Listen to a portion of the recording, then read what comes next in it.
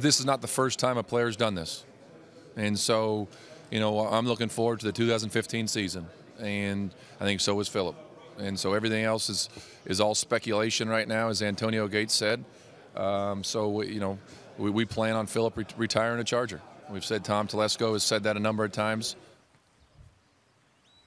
Not the first time it's happened with a quarterback situation, but Philip Rivers is different. It's a Pro Bowl guy who's played his entire year in San Diego, and he's basically made himself into a lame duck quarterback. Well, what he's doing is he wants to retire a Charger. He may not want to retire a, Sandy, a Los Angeles Charger. He'd love to be able to go in San Diego. And he likes to keep his options open if the team moves to Los Angeles. But from the team standpoint, they have a couple options to try to keep him if he doesn't sign a contract. They can franchise him for two years, and the number is going to roughly work out to be in the first couple years what he would make in a long-term deal. So there's no panic from the Chargers standpoint, but there's a reluctance right now from Rivers to possibly move to Los Angeles. People don't turn down money. That's why they call it money, right, Ed? So this is an obviously a situation that's in flux, and the Marcus Mariota situation vis-a-vis the San Diego Chargers has some interplay here, does it not?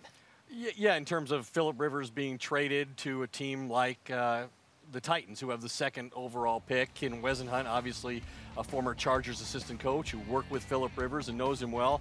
Uh, obviously, talking to Mike McCoy, he has a very strong sense that Philip Rivers isn't going anywhere, especially uh, at this point in time. Although, you know, you wouldn't expect him to admit a quarterback was available for a trade. But I certainly think that if he were available, Ken Whisenhunt would have interest in reuniting with him. Now, keep in mind, you know, people didn't think Philip Rivers was an elite quarterback.